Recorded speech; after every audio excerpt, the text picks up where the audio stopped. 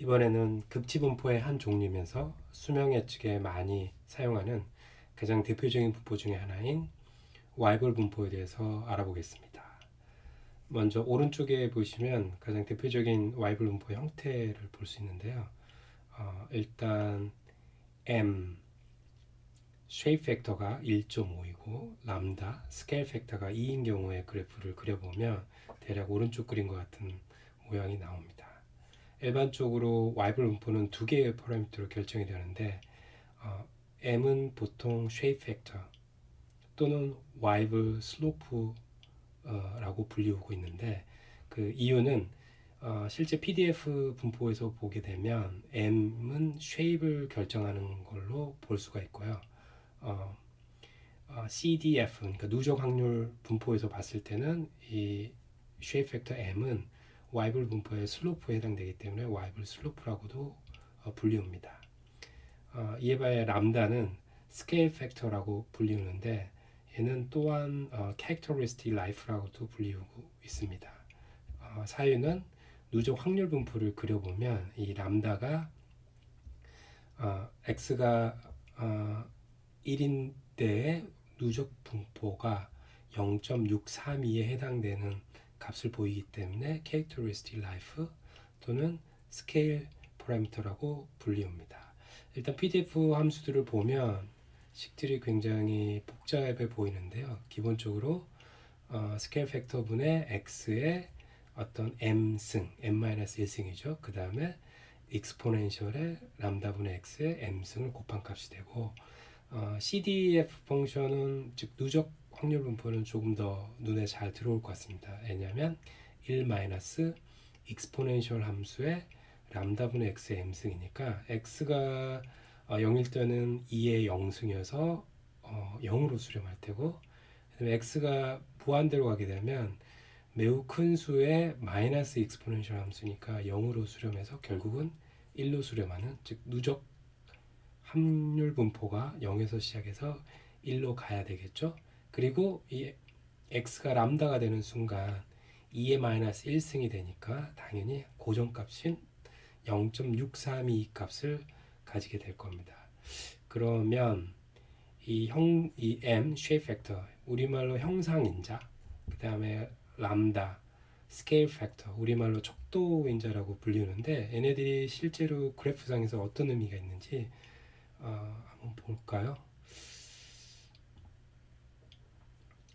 네, 여기 보시면 어, 일단 람다가 1, 즉 scale parameter가 1일 때 m 값을 변했을 경우, 즉 shape factor를 변했을 경우 어, 확률 밀도 함수와 누적 함수가 어떤 모습으로 바뀌는지를 한번 그래프로 그려봤습니다. 보시면 m이 0.5일 때 어, 지수 함수 같은 함수를 보이고 있죠. 그러면서 0.5, 1.0, 그 다음에 요 진한 파란색이 1.5, 그 다음에 녹색이 3, 약한 분홍색이 5, 빨간 진홍색이 10, 즉 m 값이 증가할수록 점점 어, 정규 분포이면서 어, 표준 편차가 굉장히 작은 값에 해당되는 분포 모양으로 수렴해 가는 것을 볼 수 있습니다. 옆에 누적 분포를 보면 마찬가지입니다. 이 파란 가장 연한 하늘색에서 시작해서 이 진홍색으로 바뀌는데 특이한 점은 x가 1일 때 항상 한 포인트를 지나가죠. 이게 우리가 0.632에 해당된다고 그랬죠. 즉 이걸 보시면 n 값이 바뀜에 따라서 어, shape이 지수함수에서 normal 정규분포 같은 어, 형태로 바뀌는 형태가 바뀌는 걸 알 수 있습니다. 그래서 어, 쉽게 shape factor라고 말할 수 있겠죠. 그 다음에 누적 확률에서는 그 characteristic point에 해당되는 이 0.631을 지날 때 기울기가 점점 샤프하게 값이 커짐을 알 수 있죠. 그래서 이거는 Weibull slope라고도 볼 수 있겠습니다. 그러면 람다, 즉 scale parameter랑 characteristic life는 대체 그래프적으로 어떤 의미가 있는지 한번 다른 람다 값으로 한번 비교를 해보겠습니다. 네, 여기 보시면 첫 번째 거는 방금 전에 봤던 람다가 1일 경우 두 번째 아래 그래프는 람다가 2일 경우에 동일한 범위의 m 값을 줬을 때 그래프 모습입니다. 위 그림과 아래 그림을 보시면 shape factor가 조금 쓰다가 만 경우가 보이죠. 즉 어, shape factor가 얼마나 영향을 미치는지에 대해서 어, scaling 한 것처럼 보일 수도 있겠습니다. 그래서 이거를 scale parameter라고 하지 않았나라고 저희 추정을 하고 있습니다. 네.